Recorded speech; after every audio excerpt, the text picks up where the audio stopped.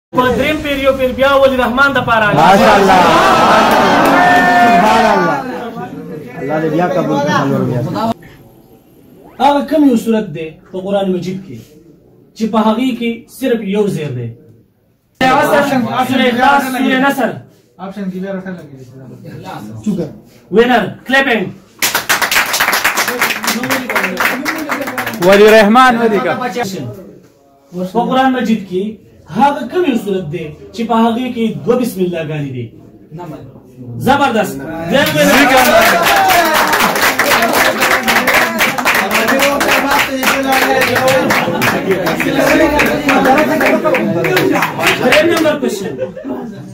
امام بخاری شرط د پند نمبر 1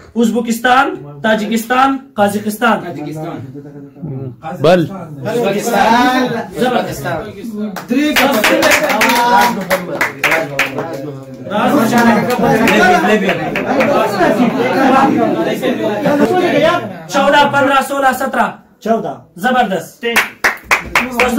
عزیز الله عزیز د کویز کمپټیشن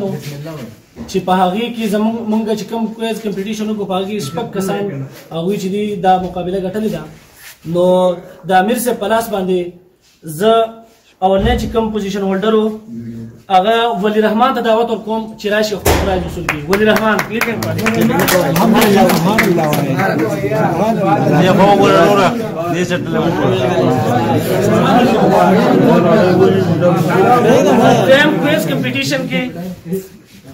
زموږ سره اعتزاز حسن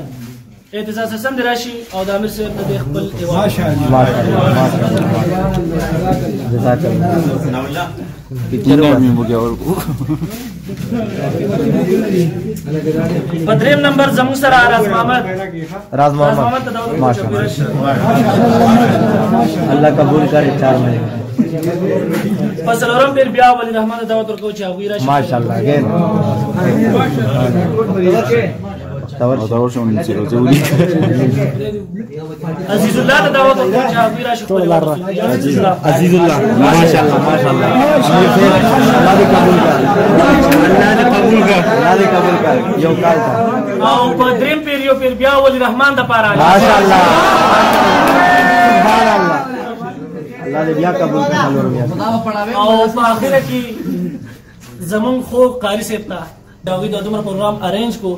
نو دا وی د پاره په اخر کې دا او وی دا ګپ ورکې امیر سره تاسو د ټولو څومره